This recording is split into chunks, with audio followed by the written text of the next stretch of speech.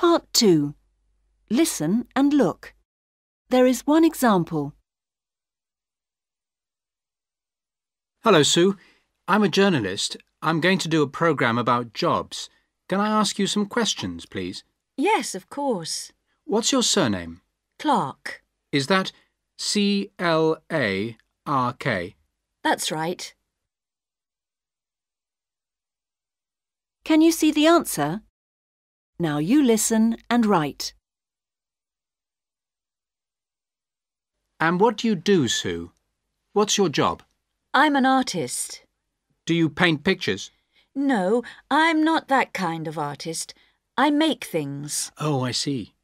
So, if you don't paint, what do you make things with?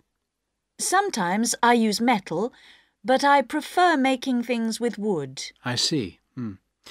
Now, can you tell me about your day, Sue? Do you start work early? Yes, I do. I work from seven o'clock in the morning until midday. So you have to get up early then. And where do you like to work? I do all my work in the basement. It's nice and quiet there. Did you make these things here? They're lovely. Yes. And this is my favourite. Oh, a music box. Yes. And if you turn the key, it plays a song.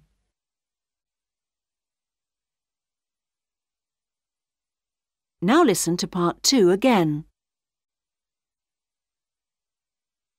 And what do you do, Sue? What's your job? I'm an artist. Do you paint pictures? No, I'm not that kind of artist. I make things. Oh, I see. So, if you don't paint, what do you make things with? Sometimes I use metal, but I prefer making things with wood. I see. Hmm. Now, can you tell me about your day, Sue? Do you start work early? Yes, I do.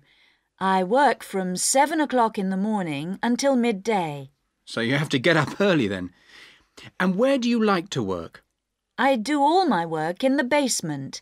It's nice and quiet there. Did you make these things here? They're lovely. Yes. And this is my favourite. Oh, a music box. Yes. And if you turn the key, it plays a song. That is the end of part 2.